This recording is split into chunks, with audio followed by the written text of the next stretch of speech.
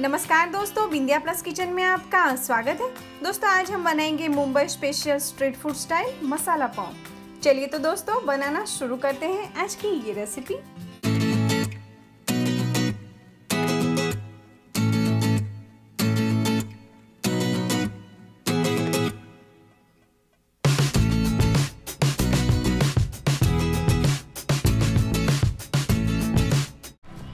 चार से पाँच हम पाव लेंगे। एक मीडियम साइज़ कटा हुआ प्याज दो कटे हुए टमाटर एक टेबलस्पून लहसुन की पेस्ट एक मीडियम साइज़ कटा हुआ कैप्सिकम आधा नींबू एक बारीक कटी हुई हरी मिर्च कटा हुआ हरा धनिया one and half teaspoon Kashmiri लाल मिर्च पाउडर आधा टी स्पून साबुत जीरा एक टेबल स्पून पाव भाजी मसाला नमक स्वाद अनुसार एक टेबल स्पून ऑयल और एक क्यूब बटर सबसे पहले हम पाव को काट लेंगे।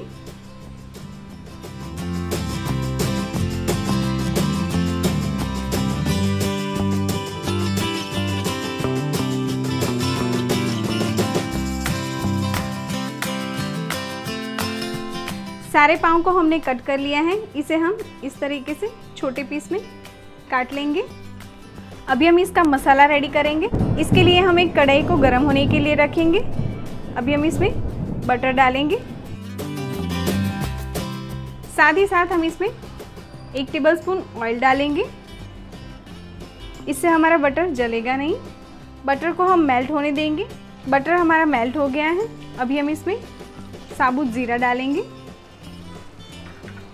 ज़ीरे को हम चटकने देंगे। जीरा हमारा चटक गया है। अभी हम इसमें लहसुन की पेस्ट डालेंगे। इसे मिक्स कर लेंगे अच्छे से। इसे हम आधा मिनट सौते कर लेंगे। साथ ही साथ हम इसमें कटा हुआ प्याज डालेंगे। इसे हम लाइट पिंक होने तक फ्राई कर लेंगे। प्याज हमारी सौते हो गई है।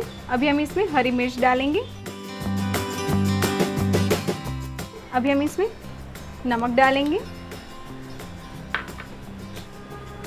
अभी हम इसमें काश्मीरी लाल मिर्च पाउडर डालेंगे। इसे मिला लेंगे अच्छे से।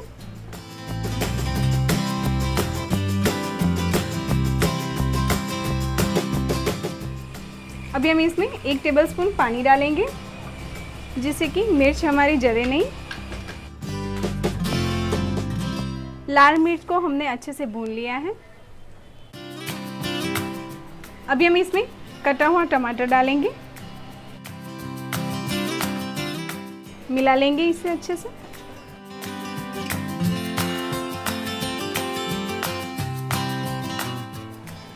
एक टेबलस्पून पानी और डालेंगे। मिक्स कर लेंगे अच्छे से। टमाटर गलने तक हम इसे ढककर पकाएँगे। टमाटर हमारे अच्छे से गल गए हैं।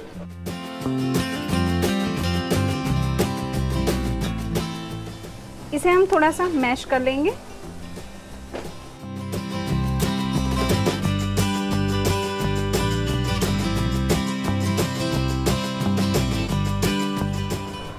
इसे हमने अच्छे से मैश कर लिया है। अभी हम इसमें पाव भाजी मसाला डालेंगे। मिक्स कर लेंगे इसे अच्छे से। इसे हम आधा मिनट भुनेंगे।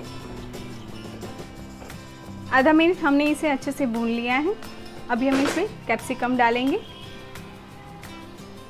कैप्सिकम को हम बहुत ज़्यादा नहीं पकाएँगे। इसे हम थोड़ा सा क्रंची रखेंगे। कैप्सिकम डालने के बाद आधे मिनट से ज़्यादा हम इसे नहीं पकाएँगे। ये रेडी है। अभी हम इसमें कटा हुआ पाव डालेंगे।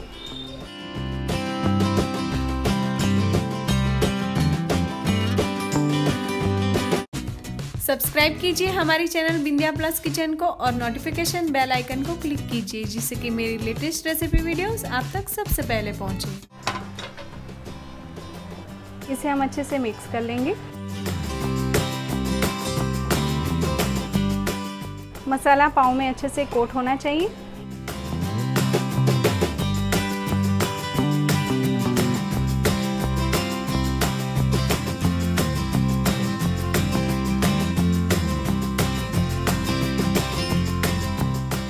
अभी हम इसमें नींबू डालेंगे। साथ ही साथ हम इसमें कटा हुआ धनिया डालेंगे।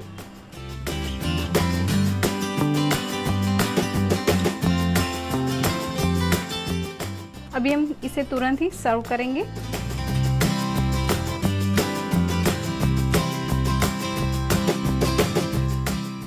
तो दोस्तों रेडी है हमारा स्पाइसी मसाला पाव? अगर आपको हमारी ये रेसिपी पसंद आए तो हमारी रेसिपी को लाइक कीजिए शेयर कीजिए और हमारे चैनल को सब्सक्राइब करना ना भूलें। चलिए तो दोस्तों, मिलते हैं फिर नई एक रेसिपी के साथ। तब तक के लिए धन्यवाद।